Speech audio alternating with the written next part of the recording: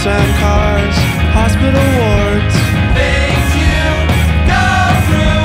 Strip malls and CDs with dogs when I was only 15. Things you go through. Getting caught speeding in mom's minivan at 16. Things you go through.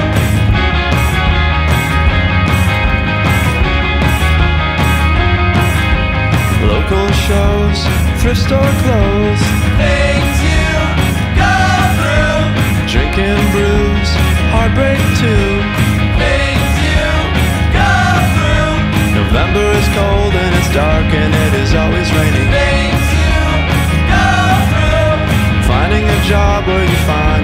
stop complaining.